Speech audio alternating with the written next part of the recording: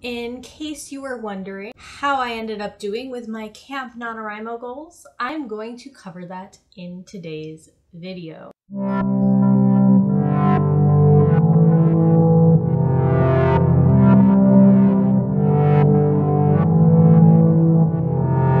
Hi everyone, welcome back. So as you know, I set quite a few goals for July Camp NaNoWriMo this year. And so I just wanted to check back in with you and let you know how that ended up going. The first thing I want to say is I did not end up reaching nearly all of my goals, but I did hit quite a few of them. I did manage to get through 50,000 words for my other goal, which was Amy's Rebellion, and I'm hoping to have the entire story done by the end of this month because 50,000 words didn't quite get me to the end. The beta reading and editing for Moonvine, which is an anthology, that is going to be released on October 1st. So once it's released, I'll put a link in this video.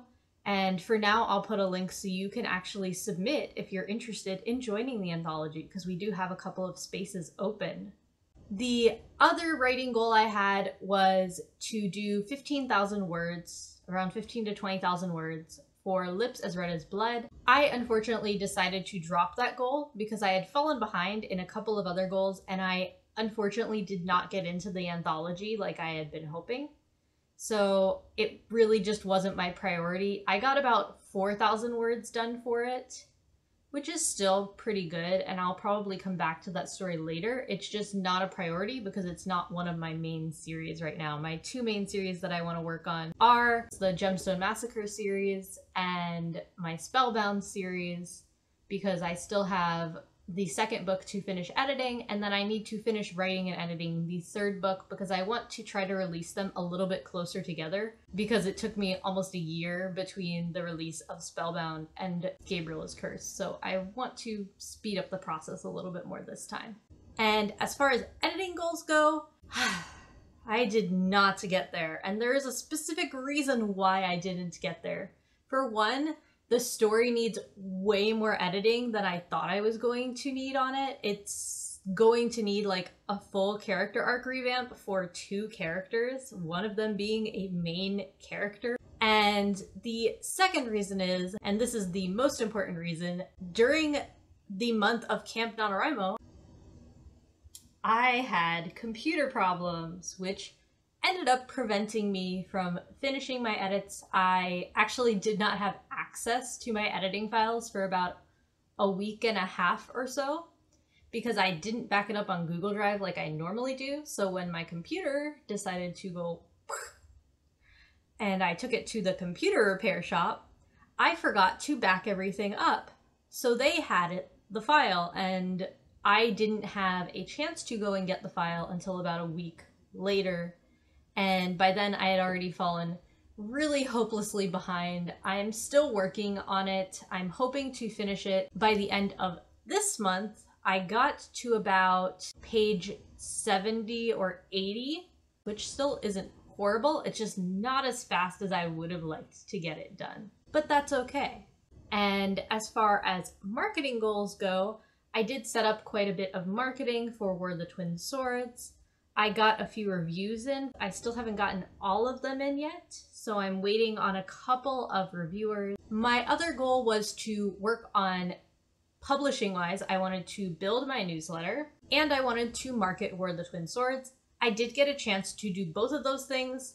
The marketing didn't go as well as I had hoped because I didn't really have a ton of time to dedicate to it with everything else that I was trying to get done. I managed to hit a thousand subscribers, and I think now I'm at around a thousand and eighty subscribers. So my goal for this month is going to be to get to a thousand two hundred and fifty. If you're trying to build your newsletter, BookFunnel has been a lifesaver for me. I have two reader magnets. One of them is just sample chapters from Spellbound, and the other one is the entirety of War of the Twin Swords. And those two things have really helped me build my newsletter, which has been awesome. As far as reading goals go, I finished A Curse So Dark and Lonely and absolutely loved it. However, I don't know if I'm going to read the second book because I wasn't super happy with how it ended. We'll see if I decide to come back to that series And the other thing I wanted to finish was the sequel to Misfits, and it was called Outlaws.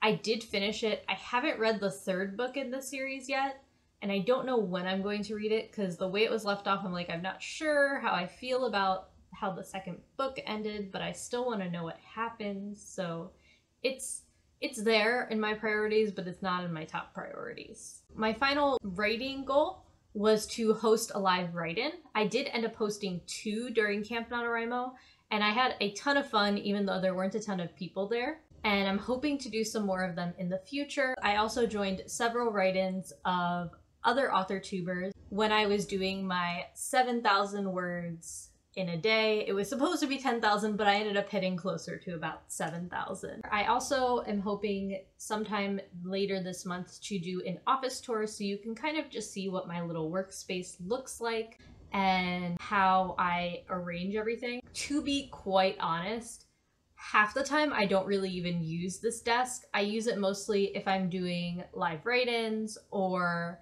if I'm working on something where I need to be at a desk. But generally, when I write, I seem to be more comfortable sitting on the couch or sitting in my bed. That's just what I've become accustomed to, and I tend to do my best work when I'm sitting there. So it is what it is. But that's all I have for you today. If you liked this video, go ahead and click that like button and subscribe to my channel and let me know how Camp NaNoWriMo went for you. Did you hit your goals or are some of them going to be carrying over into future months? Thanks. Bye.